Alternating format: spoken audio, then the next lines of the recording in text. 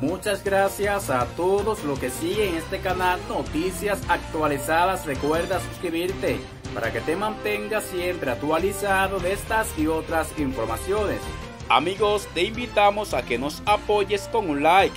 El procurador adjunto Wilson Camacho, titular de la Procuraduría Especializada de la Persecución de la Corrupción Administrativa PECA, afirmó que en la sentencia emitida este jueves por el primer tribunal colegiado del Distrito Nacional, en el caso Odebrecht, hubo algunas contradicciones en los casos de los descargos y anunció que apelarán el fallo.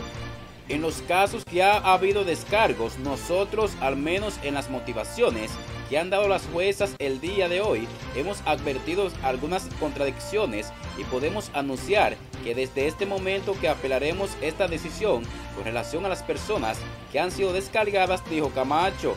En este contexto, recordó las palabras de Delia Ferreira Rubio, presidenta de Transparencia Internacional, en el sentido de que los corruptos no deben tener a nadie que los ayude ni ningún lugar donde esconderse. Gracias amigos por seguir esta noticia. Recuerda suscribirte, comparte este video. Nos veremos en una próxima noticia. Muchas gracias.